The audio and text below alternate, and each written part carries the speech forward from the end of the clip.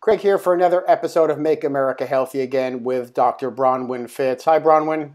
Hi, Craig. How are you? Pretty good. So, Bronwyn is an integrative gynecologist uh, with offices in Greenwich, Connecticut, and now in Harrison, New York.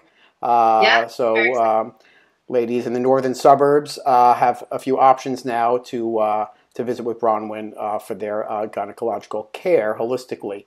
Uh, the topic today is integrative medicine and functional medicine. What's the difference? And I'd like to know what the difference is. Um, so maybe we can kind of just get right at it into the distinctions between, because we know that they're both holistic uh, therapies. Uh, but for patients, there's so much information now, and so, so uh, you know it's so easy to get very confused about the distinctions here. so maybe you can give a little overview about what integrative medicine, functional medicine is. We can talk a little bit about both. Yeah, yeah, great. I'd love to. It's um, uh, both fields uh, have a lot in common. There's a lot of overlap, and um, so that's why a lot of times I think the the words come up um, in similar situations, and and so people get confused. Um, but essentially, the way I like to think of it um, is that integrative medicine is sort of a larger umbrella phrase that encompasses um, traditional medicine, as well as kind of all healing modalities that could potentially be useful. So that would include um, nutrition and mind body therapies, uh, herbal medicine or botanicals, as we call them, um, manual medicine, physical therapy. Um, osteopathy, um, chiropractic, all of that together, um, along with other healing traditions, things like traditional Chinese medicine, Chinese herbs, acupuncture, Ayurveda, other Native American, um, uh, and, and other indigenous um, healing traditions, as well as functional medicine. So, functional medicine, in, in, the way I look at it, falls underneath the larger umbrella of, of integrative medicine. Um, and functional medicine shares many of those, you know, all those things I just was talking about in terms of recognizing and utilizing lots of other healing modalities. I think there's kind of one key um, uh, difference that uh, functional medicine really focuses on, and that is uh, always getting to the root cause of what's going on. Uh, instead of just coming up with looking at someone's symptoms and giving it a label, uh, okay, like I'm going to give you the diagnosis of you know diabetes or something like that, and then um, and then just looking for a medicine um, or or even a lifestyle change to address that that diagnosis in in functional medicine, it doesn't stop at the diagnosis. The, there's always the underlying um, search for like why is this happening? You know, can we reverse this process?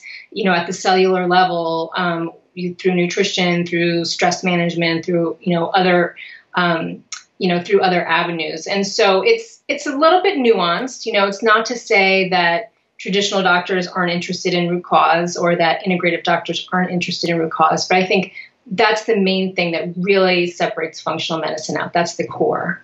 Now, uh, integrative medicine, it, it, sounds like you're talking about it in two different ways. One, that there's a sort of a, uh, a literal um, uh, certification of uh, integrative medicine, which you, which you have received, and that's under the sort of, um, I would say, with the umbrella or the uh, uh, the tutelage of Dr. Andrew Weil right? I mean, so that's a specific program.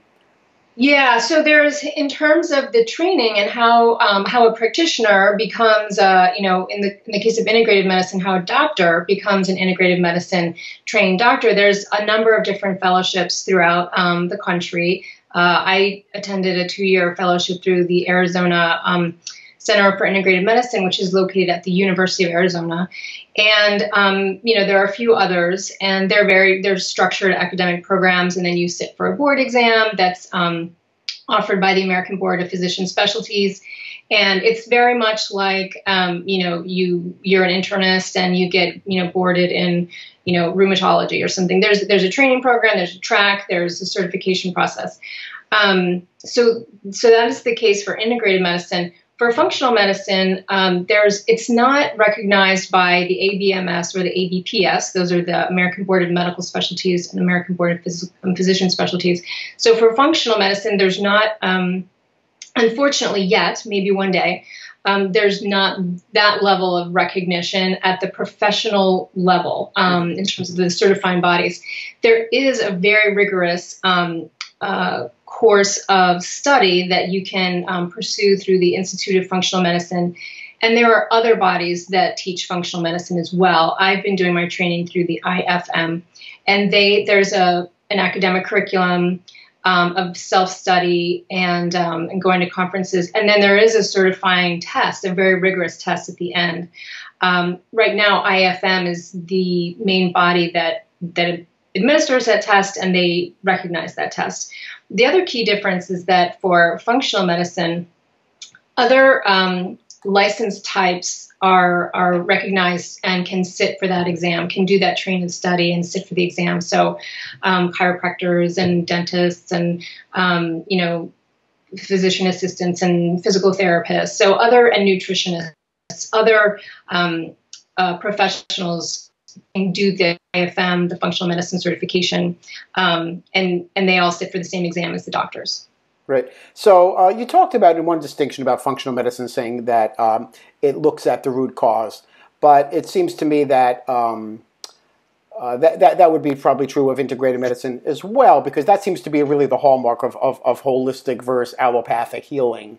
Uh, and you know, we're we're looking at the whole body, but we're also looking at the cause rather than just treating symptoms. Um, mm-hmm. So is, is it is it is it? Are you suggesting that? Um, looking at symptoms uh, or, or looking at causal uh, contributors is something that integrated medicine isn't focusing on as well, and that's why you look towards, you know, in your own practice, towards functional medicine because that was a personal concern of yours? Yeah, I mean, in integrative medicine, there's definitely the um, the desire to to get to the heart of what's going on.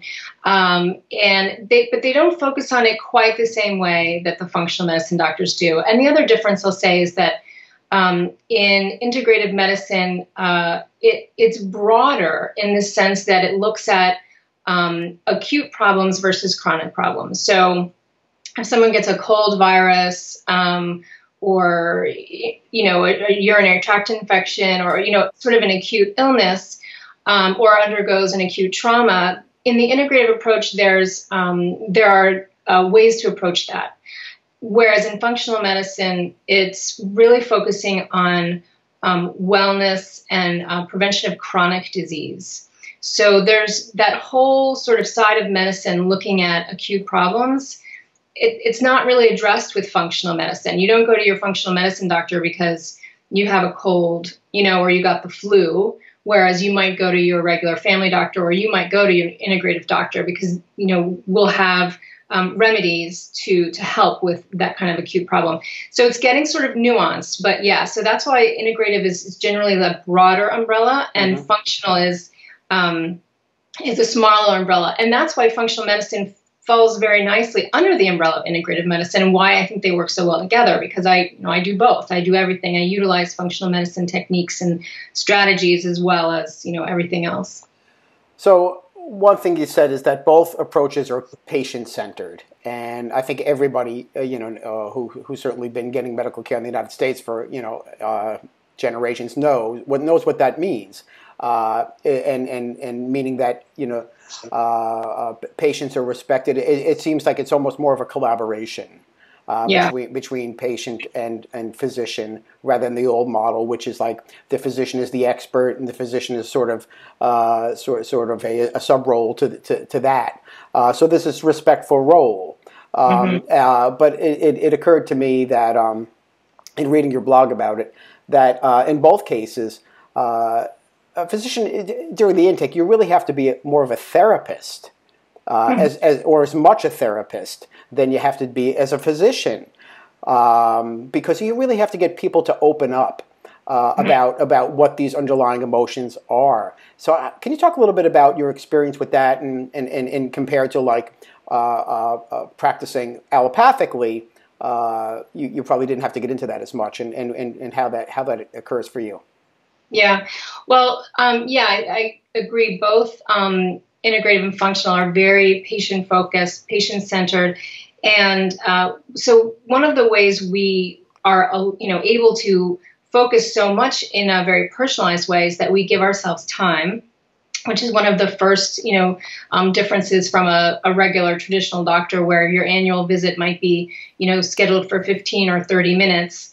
Um, if you're really lucky, you know, 45 minutes. Um, you know, I spend at least 90 minutes to sometimes two hours with my initial patients getting to know them. And they've already filled out like a 12 page intake form, which I've already spent at least an hour or two ahead of time reading. So it's, you know, it's a much longer time to get to know that individual. And it really is comprehensive. It's getting into every single aspect of your life, your, you know, your emotional health, um, your physical health, what you're eating, what your habits are, what you, you know, your pursuits in your free time are, how's your sleep, I mean, everything.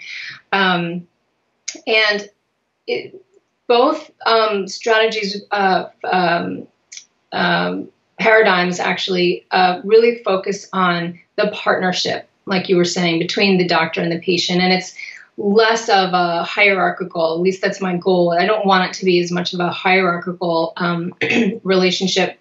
And in my fellowship, actually, we did, we spent quite a bit of time um, learning how to engage the patient. Uh, there's a whole style of uh, patient interviewing called motivational interviewing, um, where you really analyze, you know, how you are with patients, and do I ask um, closed-ended questions? Do I uh, do I ask open-ended questions? And if you're um, working with someone on a you know a difficult um, topic or a difficult conversation you know how do you how do you get the patient to drive the conversation instead of the doctor driving the conversation? And that's a key difference because if you feel like your doctor is just kind of telling you what to do all the time you're not necessarily open to it and behaviors don't necessarily change when someone just is kind of like telling you what to do.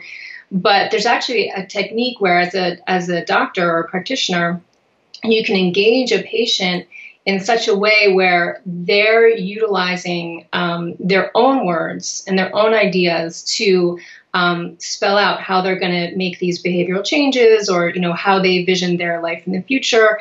Um, studies show that they're much more likely to actually implement um, the changes that they're talking about if they vocalize them themselves as opposed to having the doctor tell them so this is a whole technique that you know we learned um, and it's really valuable yeah yeah yeah that's great well, this has been very informative. Uh, I'm certain for gynecological patients, it's, it's helpful to know that uh, whatever symptoms they face in their gynecological uh, uh, case could be also contributed to or by other things, which is why the holistic approach is so valuable. So it's so great that you offer that service.